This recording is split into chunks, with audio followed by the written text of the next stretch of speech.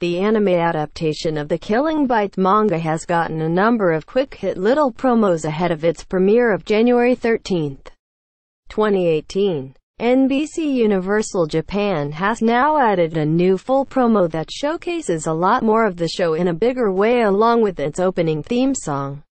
Nishikata Yasuto will direct based on the series composition by Aoi Akashiro. Kazuo Watanabe is on board with the character designs and LIDENFILMS will be handling the animation production.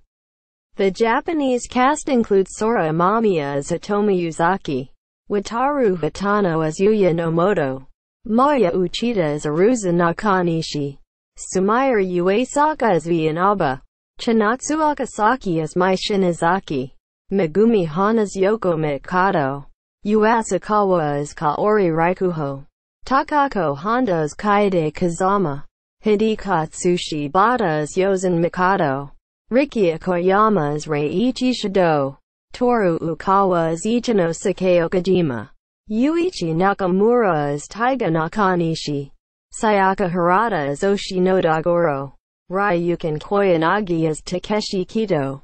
Yuzuki Kobayashi as Shota Yabe, Takatora is Jao Hiro Hiroyuki Yoshino as Deno Inuma, Katsuyuki Konishi as Ryuji Shiina, Yuki Ono as Yugo Tani, Yoshino Nanjo as Sarah's son, and Junichi Sawabe as narrator. The manga comes from writer Shinya Murata and artist Kazasa Sumida that began in the magazine back in the fall of 2013 with seven volumes released so far.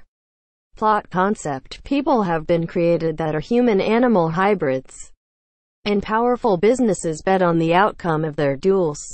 College student Yuya Nomoto's casual acquaintances ask him to drive them around to pick up girls one day, which he soon finds out means by force. The girl they kidnap is an animal-human hybrid named Hitomi, who slaughters all of them except Yuya. Hitomi is a honey badger, which has been called the most fearless of all animals. Now Hitomi is assigned to stay with Yuya for his protection.